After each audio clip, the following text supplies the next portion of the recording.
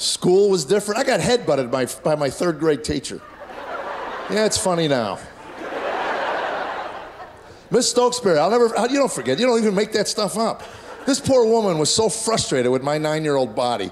She was just shaking me against the locker. She was overweight, her cheeks were vibrating like jello.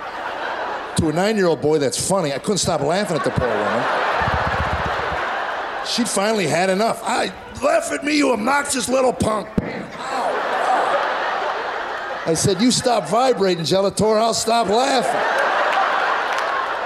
Oh, that was the wrong thing to say to Miss Stokesbury. Jello, what? Bam, ow. And I couldn't go home and tell my father. Miss Stokesbury headbutted me twice because my father would go, Why? Every time I got in trouble at school, you know what my dad told me? Leave those people alone. They work hard enough. They don't need you in there disrupting their whole, whole life. When I got to eighth grade, this is my father's advice for school go to sleep. I'm not making that up. He says, You go to sleep, you won't get in trouble no more. And it worked. I slept. I did. I slept through school from eighth grade through high school. I sailed through with a 2.0, baby. In the middle right in the middle. Now they're arresting six year old boys for shooting their little index fingers on the playground. This is now a threat to the American way of life. Little boy, every guy in this room did this when they were a kid. We play that. Girls can't do that. That's a guy thing. Girls go like this. I used to shoot knuckles when I was a kid. I can shoot an elbow. Kneecaps.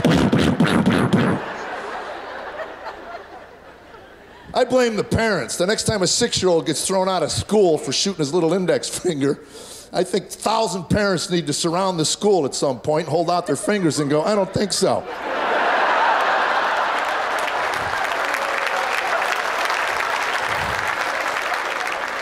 I got a novel idea. How about putting little Joey back in his desk and teaching him some math?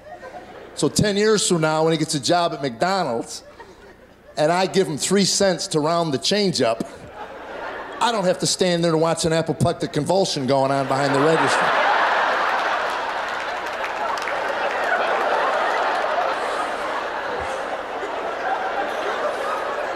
And I'm sure Common Core math will help that one out. Have you seen this abomination? This is called math. Let's see. You gave me a $10 bill. I'll break that 10 into a six and a four. Move the six over there, move the four over there. The bill was $6.33. So let's see. I'll take that six, break that into a four, move that over there, and two over there. Wait a minute. You gave me three pennies. Is there a homeschooled kid nearby? Somewhere? Somewhere, please.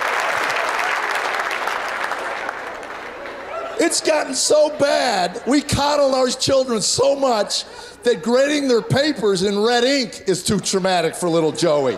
Are you kidding me? I got English papers back that look like OJ's driveway, for gosh sakes. My father would look at my paper and go, What are you, a moron? This is your native tongue. What's with all the hyphens? There's periods, commas, semicolons.